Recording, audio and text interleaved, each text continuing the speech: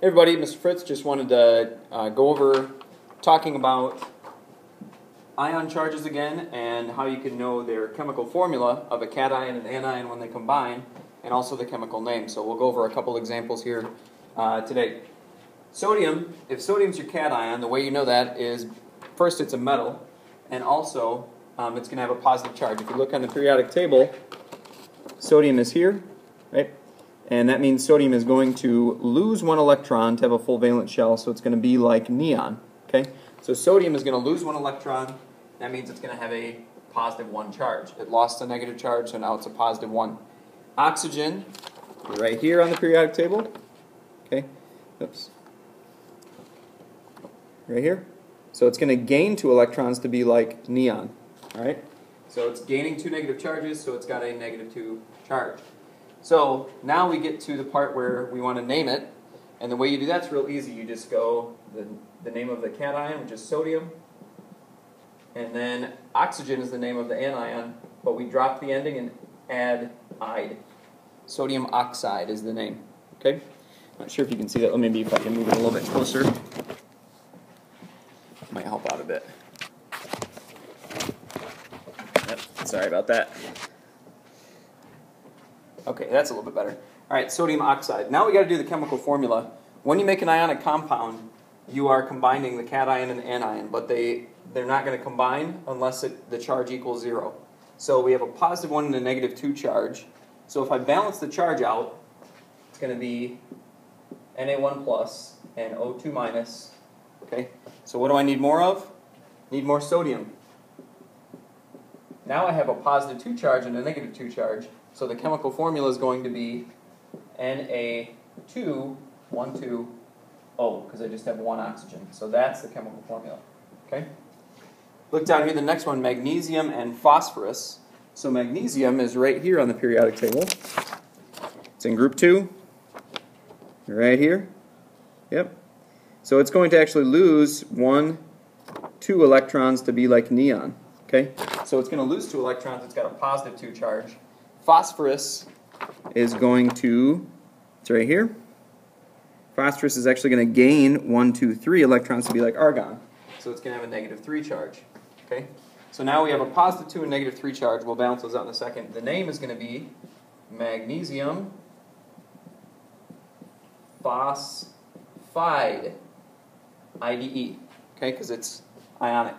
So now we balance the charges out. Mg 2 plus P, 3 minus.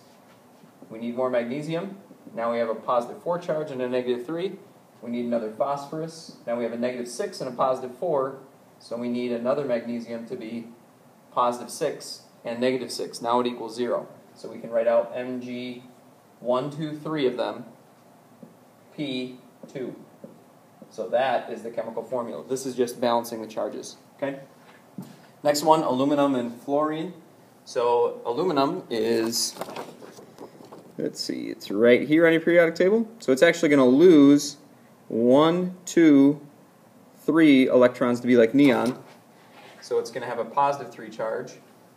And then fluorine is going to gain one electron to be like neon. Again, they're not turning into the noble gas, they just have the same number of valence electrons. So now we have aluminum fluor, whoops, you first, fluoride, okay? And now, when we balance the charges, we have Al3 plus, F1 minus, we need more fluorine, add another one, okay, now we have negative 2, need another one, now we have negative 3 and positive 3, and that equals 0, so now I can write out the formula, AlF, 1, 2, 3. That's the chemical formula for aluminum fluoride. Okay, next two down, these have a polyatomic ion. Remember, these are not on the periodic table. Nitrate is this one, and it's got a negative 1 charge. I'll give you that on a test. Next one down is sulfate. That's also polyatomic. It's made of more than one atom, so it has a negative 2 charge. Again, I don't expect you to memorize that. I'll give it to you on the test. Uh, beryllium, I'm not going to show you on the periodic table, but it has a positive 2 charge, loses 2 electrons. So now we have a positive 2 and a negative 1 charge. We'll balance those in a second. If I want to name it, it's beryllium nitrate.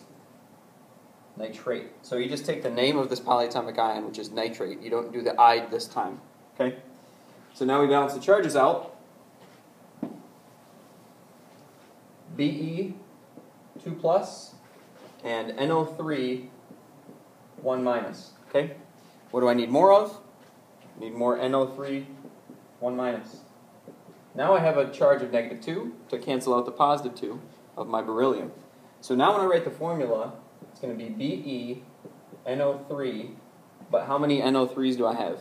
1, 2. So I have to put it in parentheses because it's polyatomic. So BeNO3, 2. Okay? Uh, next one down, we've got boron. Boron actually has a positive 3 charge. It loses 3 electrons. And sulfate. So this one is called boron sulfate. Okay? And when I want to balance the charges out, got a B, B3 plus charge and SO4 2 minus. Okay? Those charges don't balance equally, positive 3 and negative 2. So I add another boron, positive 3. Now I got positive 6. Add another sulfate. Now I got negative 4. Now I got to add another one, negative 6. So negative 6, positive 6. Now I equal 0. So now the formula is B2 SO4 in parentheses because it's polyatomic and I have 1, 2, 3 of them. So B2 SO4 3. Okay?